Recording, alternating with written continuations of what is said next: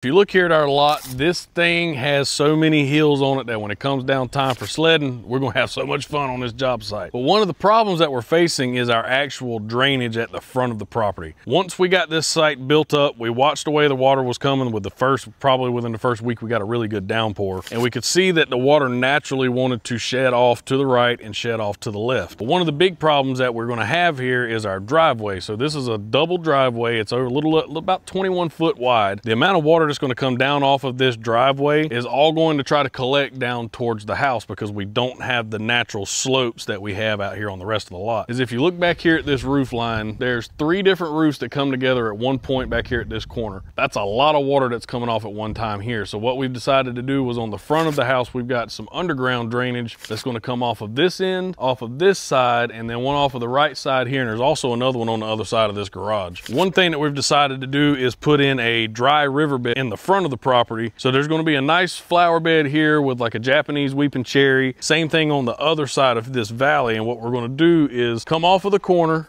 here and run a riverbed that's gonna kind of come down and wind a little bit, give it some character. The pop-up drains off of these gutters are gonna dump right into that riverbed. For the driveway is, if you can see where these stobs are at, there's gonna be a, a level drain going from this corner here all the way to this other corner. That's gonna catch all the rain that's coming off of this driveway headed to the house, catch that in that drain and run off to the right side to our, our swell on this side, or it's gonna bust out and come down this riverbed and collect all of this water. So once you're in this stage, you start doing your grading and everything, this is a major thing because you don't want to do all of this work, get the house right, lay sod, do all of these things, and then realize you got a lake forming out in the middle of your yard. This riverbed has been in the plan since we started this project because we knew we were gonna have an issue up front with our water. If you don't plan for your watershed, erosion is one of the things that can completely just de- dismantle everything that you've done.